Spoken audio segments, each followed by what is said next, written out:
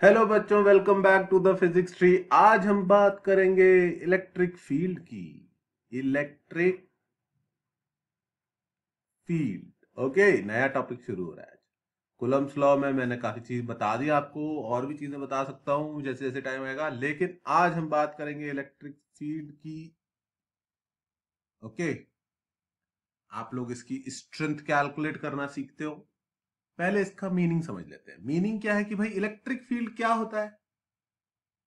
तो electric field ना किसी भी चार्ज का उसके आसपास की चीज़ों पर क्या इफ़ेक्ट पड़ रहा है, उसको बोलते हैं। तो पहला क्वेश्चन दिमाग में आता है कि सर किसी चीज़ का इफ़ेक्ट कैसे नाप सकते हैं? इफ़ेक्ट को कैसे नापते हो? इफ़ेक्ट को तो देखा जाता है। हाँ भी देखा जाता है। तो मान लो तीन दिन से तुम नहाए नहीं हो। और फिर एक कमरे में चले गए जिसमें बहुत सारे दोस्त हैं तुम्हारे। तो जो तीन दिन से ना नहाने का इफ़ेक्ट है, वो दिखाई दे जाएगा कि नहीं दे जाएगा? हम्म? तुमने किसी को टच नहीं किया, तुमने किसी को धक्का नहीं मारा, तुमने किसी से बात नहीं करी, लेकिन तीन दिन का इफ़ेक्ट तुरंत सबको दिख जाएगा। और तो और, कमरे के बाहर कोई खड़ा है तो उसको भी दिख जाएगा कि कैसे सब लोग तुमसे दूर जा रहे हैं, कैसे सब लोग रिपल्शन खा रहे हैं। समझ रहे हो या नहीं? तो किसी भी चीज़ का इफ़ेक्ट हमको दिखाई दे जाता है। ठीक है? हम एक्सपीरियंस कर सकते हैं जब हम उसके आसपास जाते हैं तो। तो ऐसे ही इलेक्ट्रिक फ़ील्ड क्या है? Electric field is the effect of a charge particle on its surrounding एक चार्ज पार्टिकल का उसकी सराउंडिंग में इफ़ेक्ट है। ठीक है? तो ठीक है तो सर इलेक्ट्रिक फ़ील्ड कैसा दिखता है? भाई, पहली बात तो तुमको और मुझको इलेक्ट्रिक फ़ील्ड नहीं दिखता। ठीक है? अगर ये चार्ज पार्टिकल यहाँ रखा है प्लस क्यू तो इसका इफ़ेक्ट किसको दिखाई देगा? दूसरे चार्ज पार्टिकल को। तो इसका इफ़ेक्ट देखने के लिए आपको क्या लाना पड़ेगा? दूसरा चार्ज पार्टिकल लाना पड़ेगा। लेट से दूसरा चार्ज पार्टिकल हमने यहाँ पे रखा और इसका चार्ज है प्लस स्मॉल क्यू ठीक है? तो इसका इफ़ेक्ट इसके ऊपर क्या पड़ेगा? ऑब्वियस सी बात है, दोनों पॉजिटिव चार्ज लिए हैं तो ये इसको क्या करेगा? रिपेल करेगा। रिपेल कर दिया इसने, बहुत बढ़िया। ये हो गया इसका इफ़ेक्ट ठीक है, मान लो ये चार्ज जो है, ये है फाइव कुलम का चार्ज फाइव कुलम का चार्ज है। ठीक है? और आपने देखा कि इस पे फोर्स लग गया। भाई फोर्स तो आप कैलकुलेट कर सकते हो ना। मास पता होगा एक्सलेशन दिख जाएगा, भागेगा ये इधर। तो आपने कैलकुलेट किया कि इसके ऊपर फोर्स लग रहा है। कितना फोर्स लग रहा है? इसके ऊपर इलेक्ट्रिक इलेक्ट्रोस्टैटिक फोर्स लग रहा है 16 न्यूटन समझ में आया? तो आपने प्लस क्यू चार्ज के पास एक छोटा क्यू चार्ज रखा और उसके ऊपर फोर्स लगा 60 न्यूटन बहुत बढ़िया बहुत बढ़िया। ये हो गया ऑब्जर्वेशन वन हम एक्सपेरिमेंट कर रहे हैं। जिसके अंत तक आपको इलेक्ट्रिक फ़ील्ड समझ में आ जाना चाहिए। ठीक है? अब नेक्स्ट केस में मैंने क्या किया? नेक्स्ट केस में मैंने फिर से ये प्लस क्यू चार्ज रखा। अब दूसरा केस है, ठीक है? ये दोनों नहीं है। ये दूसरा केस में फिर से ये प्लस क्यू चार्ज रखा। और इससे सेम डिस्टेंस पर एक स्मॉल क्यू चार्ज रखा। लेकिन इस बार स्मॉल क्यू की वैल्यू चेंज कर दी। स्मॉल क्यू की वैल्यू कितनी ली? स्मॉल स्मॉल क्यू की वैल्यू ली मैंने आठ कुलम तो अब मेरे को एक बात बताओ, बिना कुछ पेन चलाए बिना बिना कुछ कैलकुलेशन किए, क्या तुम मुझे बता सकते हो कि इस आठ कुलम पर कितना फोर्स लगेगा? सिंपल सी बात पूछी मैंने। इससे सिंपल बात नहीं हो सकती कोई। ठीक है? क्योंकि ये ना बचपन से पढ़ते आ रहे हो तो बारह संतरी की वैल्यू इतनी है तो सात की कितनी होगी? ठीक है? तो एक प्लस क्यू चार्ज से आर डिस्टेंस पर एक स्मॉल क्यू चार्ज रखा, पाँच कुलम का। पाँच कुलम के चार्ज पर इसने कितना फोर्स लगाया? साठ न्यूटन तो आठ कुलम के चार्ज पे ये कितना फोर्स लगाएगा? भाई, ये करने के लिए तुम्हें इलेक्ट्रोस्टैट्स थोड़ी आना चाहिए। अपने छोटे भाई बहन है अगर चौथी पांचवी क्लास में तो उनसे पूछ लो कि बेटा, पाँच कुलम पर अगर साठ न्यूटन फोर्स लग रहा है तो आठ कुलम पे कितना लगेगा? तो वो तुम्हें हो सकता है बता दे। क्या बता दे? कि भैया, पाँच कुलम पे साठ न्यूटन लग रहा है तो एक कुलम पे बारह न्यूटन लगा और आठ कुलम पे कितना लगेगा? ट्वेल्व, एट जा नाइनटी सिक्स न्यूटन। बहुत बढ़िया। तो उसको तारीफ़ करना, उसको, ठीक है, शाबाशी देना। और इस बात को समझना कि यहाँ से यहाँ तक के ट्रांजिशन के लिए तुमने क्या अकल लगाई? तुमने अकल लगाई कि इन दोनों के बीच में एक चीज़ सोची तुमने। क्या चीज़ सोची वो? मैं यहाँ पे बना रहा हूँ स्टार मार्क। नहीं हैश टैग कर देता हूँ हैश टैग हैश टैग तुमने सोचा कि अगर प्लस क्यू चार्ज यहाँ पर है ओके तो वो सेम जगह पर सेम जगह पर, इस वाली जगह पर, अगर तुम वन कुलम का चार्ज रखो Q equals to one coulomb का चार्ज तो उस पर कितना फोर्स लगाएगा, ये तुमने मनी मन कैलकुलेट किया। किया कि नहीं किया? कोई बोलेगा, सर, हमसे मनी मन कैलकुलेट नहीं हुआ। भाई पेन पेपर पे कर लो। कोई बात नहीं। फोर्स आया, कितना आया?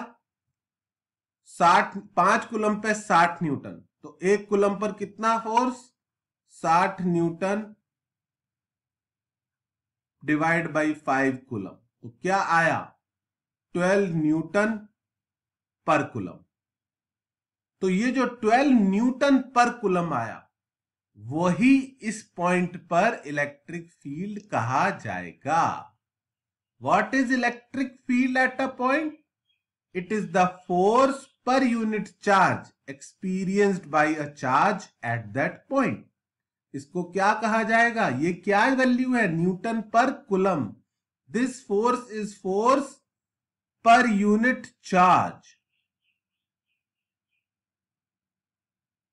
this is force per unit charge this is force divided by the charge that experience that force force per unit charge को क्या बोलेंगे electric field strength at that point समझ में आया ठीक है इस पॉइंट पर इलेक्ट्रिक फ़ील्ड हुआ 12 न्यूटन पर कुलम अगर एक कुलम का चार्ज यहाँ पर है तो उस पर 12 न्यूटन लगेगा। दो कुलम का चार्ज यहाँ पर है तो 24 न्यूटन लगेगा। पाँच कुलम का चार्ज यहाँ पर है तो 60 न्यूटन लगेगा और आठ कुलम का चार्ज यहाँ पर है तो 96 न्यूटन लगेगा। तो इस पॉइंट पर जितना बड़ा चार्ज रखोगे, उस पर फोर्स उतना ज़्यादा लगेगा। पर इसका मतलब ये नहीं कि इस पॉइंट पर फ़ील्ड चेंज हो रहा है। फ़ील्ड हर केस में इस पॉइंट पर कितना था? 12 न्यूटन पर कुलम फोर्स लगाने वाला फ़ील्ड था। हर पॉइंट पर, हर हर केस में, इस पॉइंट पर फ़ील्ड कितना था? 12 न्यूटन पर कुलम। क्या इलेक्ट्रिक फ़ील्ड स्ट्रेंथ समझ में आई तुमको? नहीं समझ में आई तो कोई बात नहीं, मेरे पास एक और तरीका है। ठीक है, इसका स्क्रीनशॉट ले लेना फिर भी। ठीक है, एक और तरीका है समझाने का। वो समझाने का क्या तरीका है कि मान लो किसी एरिया में इलेक्ट्रिक फ़ील्ड है इलेक्ट्रिक फ़ील्ड क्या होता है? इफ़ेक्ट ऑफ़ चार्ज पार्टिकल्स ठीक है? अगर इलेक्ट्रिक फ़ील्ड है, इसका मतलब यहाँ पर आसपास चार्ज पार्टिकल्स रखे होंगे। हमको नहीं दिख रहे, हमको नहीं पता। पर इस एरिया में क्या है? इलेक्ट्रिक फ़ील्ड तो किसी ने बोला तुमसे, भाई, ये इलेक्ट्रिक फ़ील्ड की कैलकुलेट करो वैल्यू कैलकुलेट करके बताओ जरा। इसकी वैल्यू कैसे कैलकुलेट करें? तो तुम उसको क्या बोलोगे? इलेक्ट्रिक फ़ील्ड स्ट्रेंथ कैलकुलेट करना बहुत आसान काम है। All you need is a charge you place the charge in the field and you look at the charge charge को फ़ील्ड में रखो और उसको ध्यान से देखो। और देखते ही मत रहो। देखो कि ये भाग रहा है कहीं। इस पर कुछ फोर्स लग रहा है, इसका कुछ मास है। इस पर क्या कैलकुलेट करो? कैलकुलेट करो कि इस पर कितना फोर्स लग रहा है। जैसे ही आपने फ़ील्ड के अंदर कोई चार्ज रखा, उस पर फोर्स लगेगा। और जैसे ही वो फोर्स की वैल्यू आपने कैलकुलेट करी, आप क्या कर सकते हो? फ़ील्ड कैलकुलेट कर सकते हो। कैसे कर सकते हो? Electric field at a point is defined as force experienced per unit charge by a charge at that point इस पॉइंट पर इलेक्ट्रिक फ़ील्ड कितना है? जितना फोर्स पर यूनिट चार्ज यहाँ पर फील हो रहा है। मतलब कि मान लो एग्ज़ाम्पल के लिए ये चार्ज आपने कितना रखा था? आठ कुलम और इस पर फोर्स लगा। कितना फोर्स लगा? 120 newton I cap okay direction होगी। वेक्टर है। कोई बात नहीं। बाद में कर लेंगे डायरेक्शन की बात। तो आप क्या बोलोगे कि भाई यहाँ पर कितना फ़ील्ड है? सिंपल सी बात है। यहाँ पर जो फ़ील्ड है, वो आठ कुलम पे 120 न्यूटन फोर्स लगाता है। फिर से सुन लेना। यहाँ पर जो फ़ील्ड है, वो आठ कुलम पे 120 न्यूटन फोर्स लगाता है। तो फ़ील्ड कितना है? 120 न्यूटन लगाता है ऑन आठ कुलम यानी 15 न्यूटन पर कुलम फोर्स लगाता है। इलेक्ट्रिक फ़ील्ड की स्ट्रेंथ क्या होती है? वो कितना फोर्स पर यूनिट चार्ज लगाता है? फोर्स पर यूनिट चार्ज। वो कितने न्यूटन का फोर्स पर कुलम चार्ज पे लगाता है, उसी को इलेक्ट्रिक फ़ील्ड की स्ट्रेंथ बोलते हैं। इलेक्ट्रिक फ़ील्ड की स्ट्रेंथ की एक डायरेक्शन होगी जो कि फोर्स की डायरेक्शन ही आएगी। यहाँ पर आई कैप लिख सकते हैं, फोर्स आई कैप में। आई बात समझ में या नहीं? ठीक है तो तुम बोलोगे, सर, आपने ये सिखाया है। हमारे टीचर ने भी ये सिखाया था। फिर सडनली पता नहीं कहाँ से K Q by R square आ गया। फिर पता नहीं ये कैपिटल क्यू है, फिर कभी K small Q by R square आ गया, और फिर एकदम से रिंग और डिस्क और लाइन और वाट लग गई। तो तो ऐसा है फॉर्मूला तो यही है। लेकिन डिफरेंट टाइप के चार्ज पार्टिकल्स का चार्ज डिस्ट्रीब्यूशन का इलेक्ट्रिक फ़ील्ड का फॉर्मूला कुछ कुछ और आता है। सारे के सारे डिराइव सारे के सारे ये डिराइव खुद से नहीं होते। सबके सब इसी फॉर्मूले से होते हैं। समझ में आया? तो electric field at a point in space कितना हुआ? मैं लिख देता हूँ क्योंकि लोग ना भूल जाते हैं। Electric field at a point in space is equal to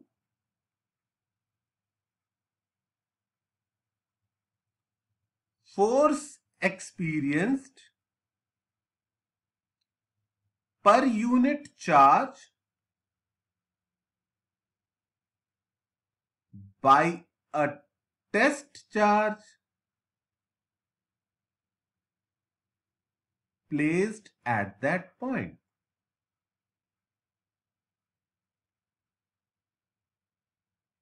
जब कोई चीज़ समझ में नहीं आ रही हो ना तो अपने दोस्त को पकड़ो। हर किसी का एक दोस्त होता है ना, जो नालायक होता है, और उसको समझाने की कोशिश करो।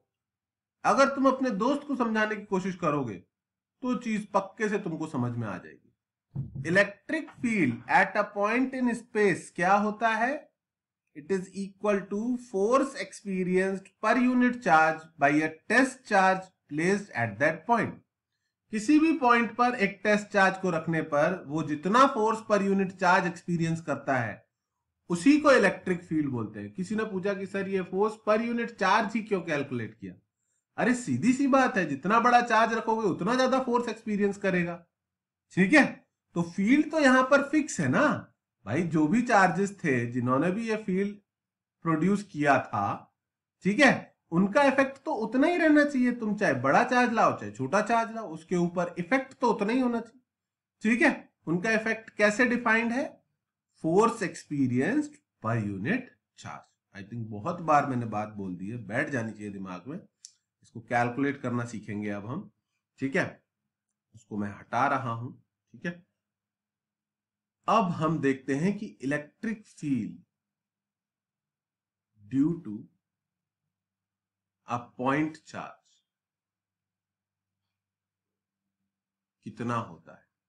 भाई, हर एक चार्ज अपनी विसिनिटी में क्या प्रोड्यूस करता है? एक फ़ील्ड अपना फ़ील्ड प्रोड्यूस करता है। ये एक प्लस क्यू चार्ज रखा। ठीक है? तो ये अपनी विसिनिटी में एक फ़ील्ड प्रोड्यूस करेगा। कैसा करेगा? वो फ़ील्ड इसके पास वाले पॉइंट्स पे स्ट्रांग होगा और दूर वाले पॉइंट्स पे वीक होता जाएगा। जितना दूर जाते जाओगे, इस चार्ज पार्टिकल का फ़ील्ड वीक होता जाएगा। बहुत दूर चले जाओगे तो इसका इफ़ेक्ट इसका फ़ील्ड ऑलमोस्ट नेग्लेजिबल हो जाएगा। इंफिनिटी पे चले जाओगे, इसका इफ़ेक्ट ज़ीरो हो जाएगा। क्या ये इफ़ेक्ट सिर्फ़ आगे की डायरेक्शन में होगा? नहीं। अगर आप टेस्ट चार्ज नीचे रखोगे तो फोर्स नीचे लगेगा तो फ़ील्ड भी नीचे आएगा। टेस्ट चार्ज पीछे रखोगे तो फोर्स पीछे लगेगा, फ़ील्ड भी पीछे आएगा। टेस्ट चार्ज ऊपर एंगल वगैरह वगैरह वगैरह। ओके ये एक पॉजिटिव चार्ज का फ़ील्ड ऐसा दिखाई देता है हर डायरेक्शन में, उससे दूर जाता हुआ। बोलते सर, आपने दूर जाता हुआ क्यों बनाया? अरे भाई, अभी तो बात करी कि फ़ील्ड कैसे कैलकुलेट करते हैं। किसी भी पॉइंट पर टेस्ट चार्ज रखते हैं, उस पर फोर्स निकालते हैं। और फोर्स पर यूनिट चार्ज करते हैं। फोर्स कितना होगा टेस्ट चार्ज पर? फोर्स होगा k q one q two by r square r क्या होगी? इनके बीच की डिस्टेंस ओके? तो k q one q two by r square force लगेगा इस टेस्ट चार्ज पे। मान लो ये कितना आया? पचास न्यूटन। और ये टेस्ट चार्ज पाँच कुलम का है तो फ़ील्ड कितना हो गया? फिर से बोल रहा हूँ, ये मान लो वाली चीज़ें ना लिखना पसंद नहीं है मुझे। 50 न्यूटन फोर्स लगा इसके ऊपर, और इस पे चार्ज कितना है? इस पे चार्ज है फाइव कुलम। तो यहाँ पर फ़ील्ड कितना हो गया? 50 न्यूटन ऑन फाइव कुलम, यानी फ़ील्ड हो गया 10 न्यूटन पर कुलम। तो ये तो मान लो वाली बात है, मान लो वाली बात हमेशा नहीं चला सकते तो लेट्स नॉट मान लो। ओके फॉर्मूला कैलकुलेट करते हैं। What is the formula of electric field here the formula is यार ये मैंने कचरा गंदा कर दिया इसको तो ये फोर्स है और इसका, ये इसके ऊपर फोर्स लग गया आगे की तरफ़। और फ़ील्ड कैलकुलेट करने के लिए क्या करेंगे? फोर्स एक्सपीरियंस्ड पर यूनिट चार्ज कई लोगों को यही कंफ्यूजन होता है सर डिवाइड किससे करना है? इस वाले क्यू से या इस वाले क्यू से? कभी किसी से कर देते हो, कभी किसी से कर देते हो। अरे भाई, जिस पे फोर्स निकाला है, जिस पॉइंट पर फ़ील्ड कैलकुलेट करना है, उसी पॉइंट के चार्ज पर फोर्स निकालेंगे और उसी के चार्ज से डिवाइड करेंगे, ठीक है? यहाँ पे कोई तीसरा चार्ज रखा है तो उससे थोड़ी डिवाइड करते रहेंगे। ना इससे डिवाइड करेंगे, अरे इस पॉइंट पर फ़ील्ड निकाल रहे हो तो इस पॉइंट पे जो चार्ज रखा है, उसका फोर्स पर यूनिट चार्ज कैलकुलेट करना है। तो ये k q q by r square divided by small q हो जाएगा के क्यू बाई आर स्क्वायर। ये क्या फॉर्मूला आया? ऑफ़ कोर्स इसकी एक डायरेक्शन होगी, हम एन कैप लिख देते हैं। डायरेक्शन कैसी होगी? इस पॉइंट इस चार्ज से गोइंग अवे डायरेक्शन जहाँ पर भी देखोगे गोइंग अवे तो electric field due to a point charge electric field due to a point charge का क्या फॉर्मूला निकला? के क्यू बाई आर स्क्वायर कुछ लोग बोलते हैं, सर, ये तो डायरेक्टली बता दिया था हमारे यहाँ। इसमें आप इतनी बात क्यों कर रहे हो? अरे भाई पॉइंट चार्ज का समझ में आएगा, तब लाइन चार्ज का कैलकुलेट करेंगे, तब रिंग का आएगा। नहीं तो लाइन से सबके फॉर्मूले याद करोगे तुम और लाइन से सबके क्वेश्चन गलत करके आ जाओगे। ठीक है? क्योंकि तुम्हें यही नहीं समझ में आएगा कि अप्लाई कैसे करना है। ठीक है? तो ये electric field due to a point charge हुआ k q by r square इसकी वैल्यू कितनी आ सकती है? इसकी वैल्यू आ सकती है दस न्यूटन पर कुलम इसकी वैल्यू आ सकती है पचास न्यूटन पर कुलम इसकी वैल्यू आ सकती है दो न्यूटन पर कुलम डिपेंड किस पे करेगा? ये चार्ज की वैल्यू कितनी है और हम कितनी डिस्टेंस पे जा रहे हैं। आर की वैल्यू कितनी है? ओके तो फट से ना एक काम और कर लेते हैं, छोटा सा काम। इसका स्क्रीनशॉट ले लो, मेरे को एक ग्राफ और बनाना है। फट से स्क्रीनशॉट ले लिया तुमने, ले लिया, बहुत बढ़िया। स्क्रीनशॉट लेना बहुत अच्छे से आता है तुमको हाँ? नोट्स लिखोगे नहीं, स्क्रीनशॉट लेते रहोगे तो हटाते हैं इसको। एक चीज़ मेरे को और बतानी है, वो ये कि भाई इसका ग्राफ कैसा बनेगा इलेक्ट्रिक फ़ील्ड का? क्योंकि ना, ये ग्राफ पर बहुत क्वेश्चन पूछते हैं। ओ ओ, आ जाओ आ जाओ आ जाओ एक्सिस आ गई, बहुत बढ़िया। ठीक है तो इलेक्ट्रिक फ़ील्ड का graph with distance from the charge r और ई का ग्राफ। तो बहुत सिंपल सी बात है।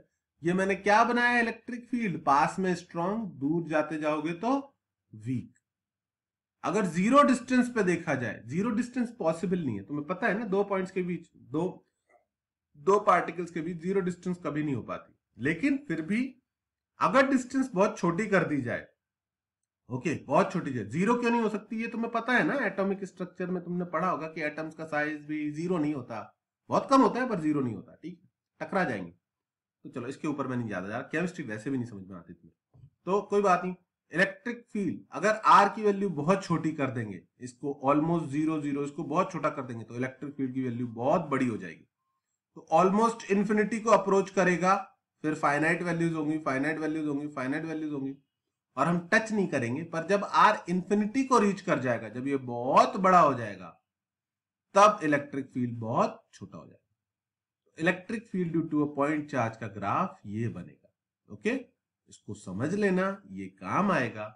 जब हम मल्टीपल इलेक्ट्रिक चार्जेस रखेंगे तो ये तुम्हें खूब परेशान करेगा। ओके तो इसको ड्रॉ कर लिया तुमने, बहुत अच्छे। मैं दूसरी डायरेक्शन में भी बनाना चाह रहा था, पर मेरे पास ना जगह नहीं है। जगह की बहुत कमी है। तुमने पर स्क्रीनशॉट थोड़ी देर पहले लिया था, हटाओ इसको पढ़ो पढ़ो पढ़ो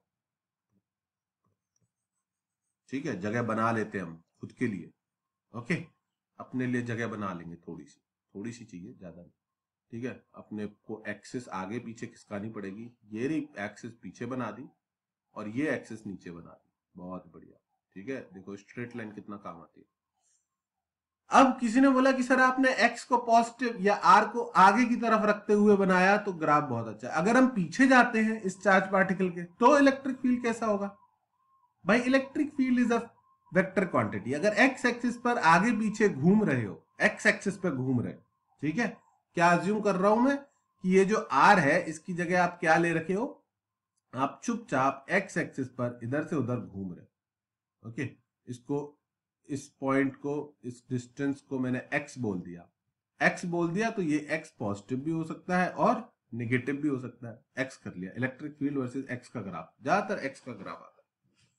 तो जब ये एक्स नेगेटिव हो जाएगा मतलब आप इस चार्ज के पीछे चले जाओगे, उस टाइम पर इलेक्ट्रिक फ़ील्ड की डायरेक्शन चेंज हो जाएगी।